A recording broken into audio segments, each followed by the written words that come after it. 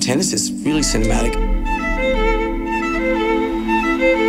To sit there really and watch extraordinary human beings do something with such precision. Wow, that's as good as it gets.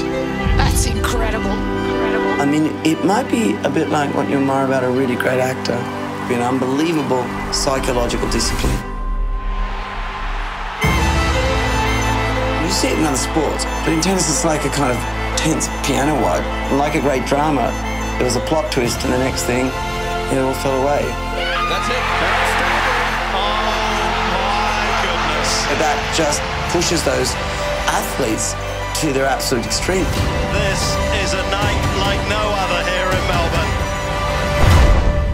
It's just like the most dramatic movie, really.